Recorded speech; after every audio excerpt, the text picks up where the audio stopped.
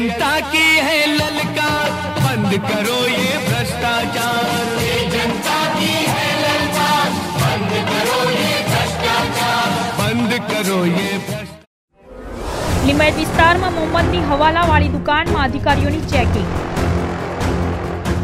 Shutting બાદ અધિકારીઓ checking દરમિયાન મીડિયાએ કરેલા સવાલ પૂછતા ડૂમ દબાવીને ભાગ્યા હવાલાબાજો અને ત્યાં અધિકારીઓને તપાસ તો કરી પણ સેટિંગ વાળી.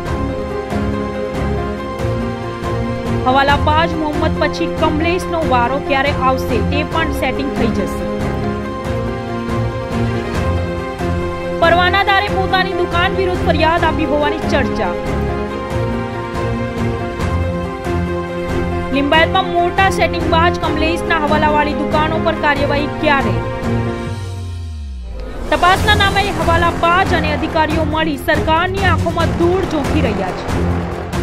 હું વોરા ફિરોઝ ગુલામ નબી બોલું છું. હું રહું છું લિંબાયત મદીના મસ્જિદ વિસ્તાર સાચી ચોક ગલી નંબર બેમાં છે દુકાનની ફરિયાદમાં આપેલી હતી, મેં લેખિતમાં અરજી આપેલી છે ડીઓસો સાહેબને, કે લાયસન્સ મારું આ લોકો ફ્રોડથી લઈ ગયેલા હતા અને ટોલાટ તરીકે કામ કરતા હતા બધા.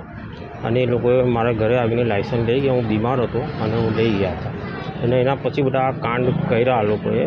હવે આમાં પચીસ છવ્વીસ એ મને પૂછ્યા વગર એ લોકોએ ચાર્જ લીધો. મારી સાઇન બી નહીં લીધી અને એ લોકોએ લે મૂકીને આ બધા કાળા ધંધા કરતા હતા. અને મને ખબર હતી નહીં. ડીએસઓમાંથી આજે તપાસ બેસી હતી તપાસ દરમિયાન શું જોવા મળ્યું? તપાસમાં તો કાલે મારું જે લાઇસન્સ આ લોકોએ લઈ લીધેલું છે પરત કરી દીધું છે. હવે હું પોતે ચલાવવા માગું છું. કેટલા વર્ષોથી આ દુકાને વર્ષોથી લગભગ આ તો ત્રીસ પાંત્રીસ વર્ષ થઈ ગયા. કેટલા વર્ષોથી આ લોકોને આપેલી હતી તમે ચલાવવા તે આ દસ આ અગિયાર મહિનાથી. જે આરોપી બનાવ્યા અત્યારનો તેનું નામ શું? આરોપી આપણે કિશનભાઈ કૈલાસભાઈ ડાયમા. કોનું હસ્તકે આ કરતા હતા? એના પપ્પા સાથે મારા સારા સંબંધ હતા. એના પપ્પાને બી મેં બે એક વાર ફોન કર્યો. ઉઠાવીને જવાબ બી આપ્યો હું લાઇસન્સ તમને આપી દઈશ. પણ એ લોકોએ પછી એમના પપ્પાને મેં પછી ઘણીવાર ફોન બી કર્યા ફોન નહીં ઉઠાવતા હતા. એટલે હું લેખિતમાં અરજી આપેલી ડીઓસી સાહેબને મામલતદાર સાહેબને અને કેટલીક દુકાનો ચાલુ છે?